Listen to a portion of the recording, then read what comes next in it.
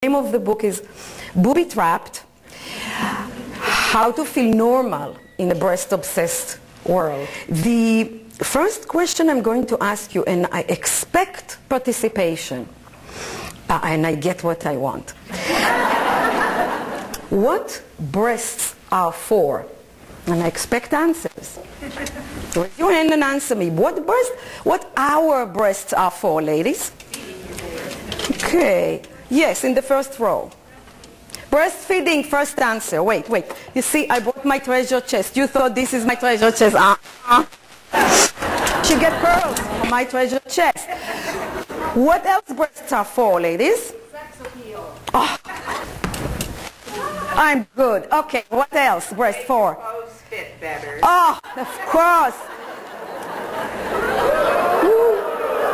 I was on a radio show and I asked the question, what is, uh, what breasts are for? And one of the callers, she said, you cannot see me. I have huge butt.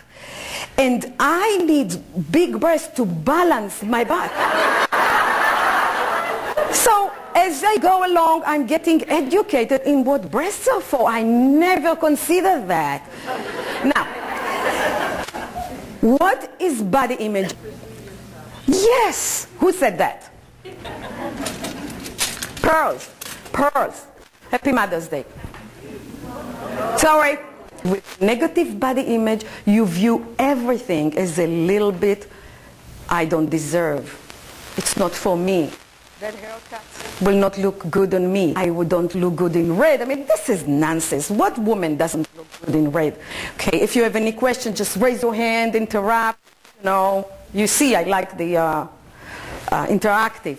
Imagine living in a society that you must have large breasts or thin thighs or you must be, uh, you must look like Julia Roberts. Changing your lips and thighs and changing your breast and stomach. And... Okay. What, what's the result is huge expectations. The self, the human in you, the humanity wasn't changed because you didn't come to me for treatment. No, no, no, no, I didn't mean that. I didn't mean that. Yes, I did. I have the good breast and the bad breast and they keep talking.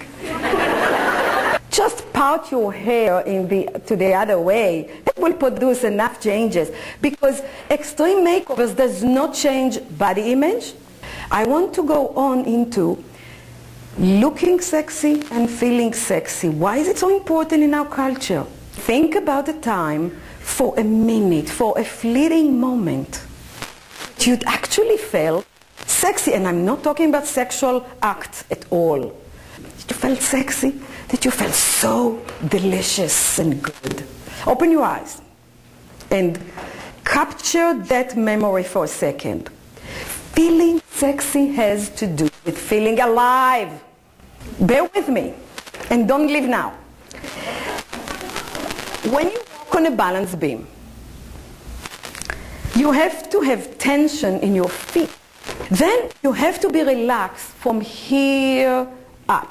You have to be really relaxed because there are all kinds of strange movements that are going to come very soon and you have to build sexual tension slowly. You cannot build sexual tension like that. Somebody is taking notes.